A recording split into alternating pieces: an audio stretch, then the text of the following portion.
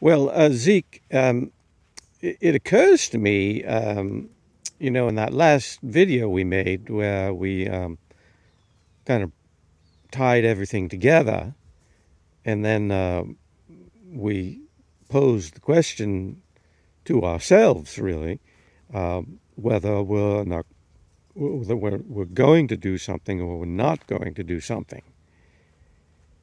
And uh, now you suggested that it was much easier not to do anything at all, and I agree with you.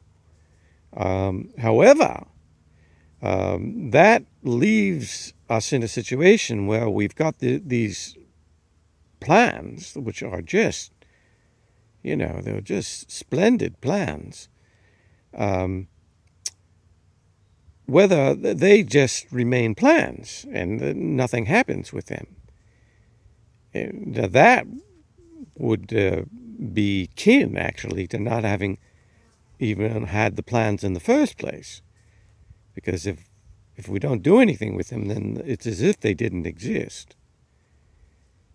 And that, that's troublesome to me uh, because uh, we invested a lot of time and energy developing those plans. Do you have any thoughts about this? Well, it's true. Uh, if we don't do anything, then nothing will happen with the plans. You know, if we're going to do